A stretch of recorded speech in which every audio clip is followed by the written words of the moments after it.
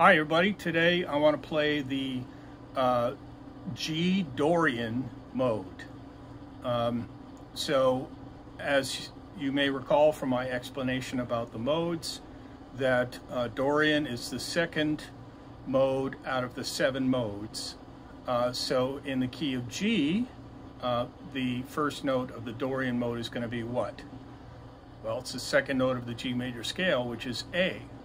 So um, that means we're going to play the G major scale, but we're going to start and end on A. And it sounds like this.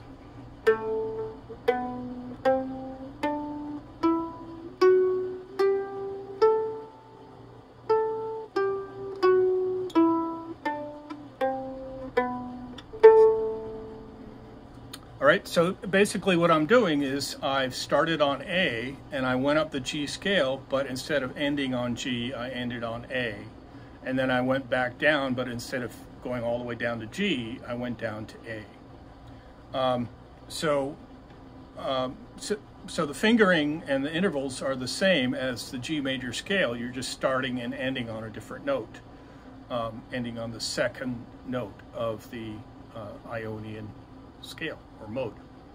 Um, so uh, let me do that again without all the talking, starting with A, B, C natural, D, E,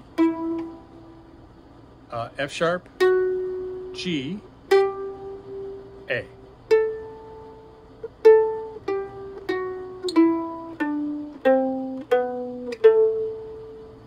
Okay, hopefully that was helpful to you. If you have any questions, the links are in the details below, and thank you for watching my video.